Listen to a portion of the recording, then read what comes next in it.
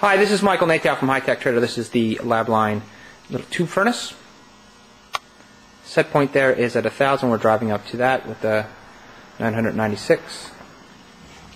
Uh, your power, power on off heating buttons right there. Side of unit, little scorching here. I don't know if you can catch that on the video. Let's see if we can turn that off. Just give you a little bit more of a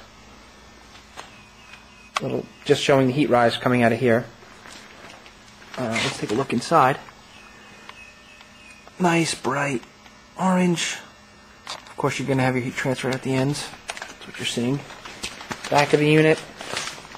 Simple. Okay. Nothing really out of the ordinary. On this side, we we have a little bit more scorch, and we're going to try to clean that up. That's just coming. Apparently, this was just a lot of. Uh, obviously, that feels nice and warm there. A lot of heat coming in. I can show you that side too. All right, that's good stuff, and you can see that scorch again. Not a problem there.